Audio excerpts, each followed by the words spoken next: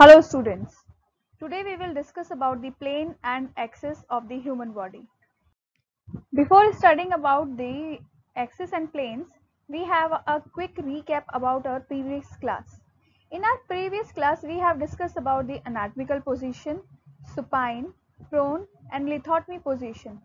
We have studied about some directional terms also. We studied about anterior posterior, ventral dorsal, distal proximal, medial median and lateral, superior inferior, cranial caudal, superficial deep, internal external, palmar dorsal of hand and plantar dorsal of foot. We have this, uh, studied that these terms are helping us to know about the positions and the location of different organs and different position of the patient and they are helping us to prevent confusion when we are studying anatomy and the positions of different organs and associated things. The today's class we have gonna discuss about this planes and axes. We have the objective to study and to understand about the planes and axes of the body in which the movement take place in a human body. So first of all we will discuss about the what is planes and axis. A plane is an imaginary flat surface along which a movement take place. Particularly the planes are flat surface and there are of three types.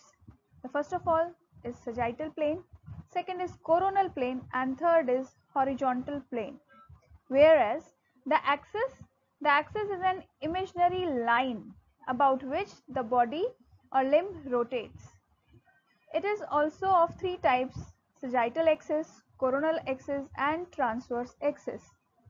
In most of the example, a plane and the axis are perpendicular to each other. The difference between plane and axis is this measure that it is an imaginary. The plane is an imaginary flat surface whereas the axis is an imaginary line, not a surface.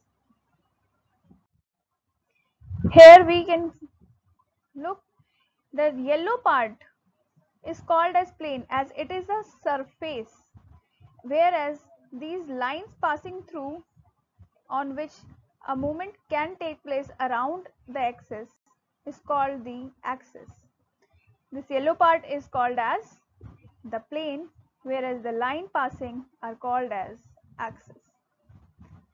Similarly in this this yellow part is called as plane and the line passings are called as axis.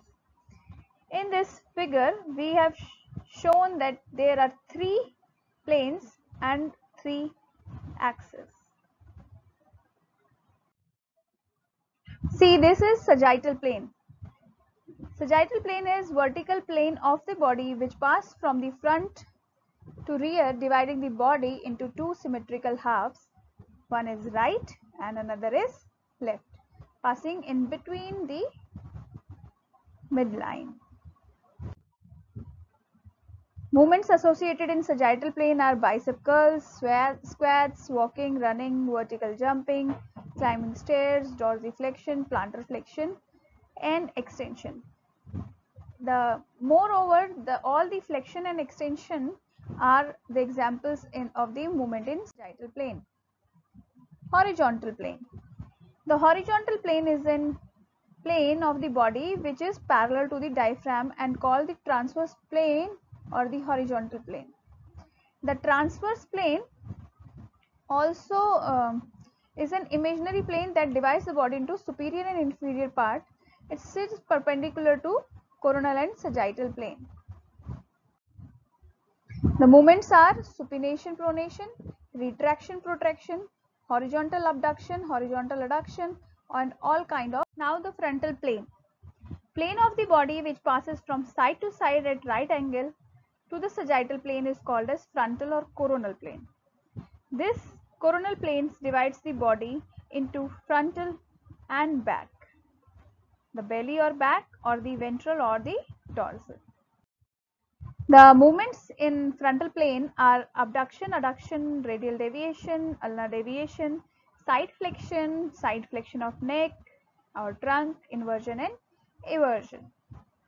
Each and every movements of the upper limb, particularly the shoulder joint.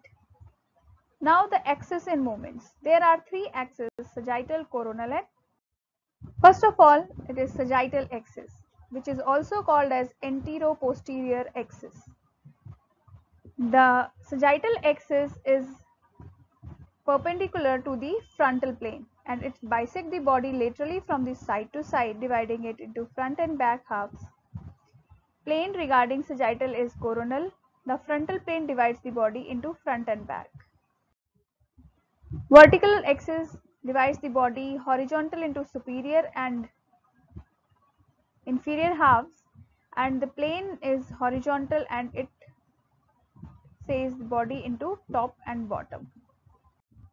Then it is coronal plane which bisects coronal plane which is associated with lateral axis or also called as frontal axis or lateral axis and it is associated with sagittal plane which passes through the body dividing the body into right and left. If you didn't understand here are the some references for your help feel free to take these references. I hope you understand this video lecture well. Thank you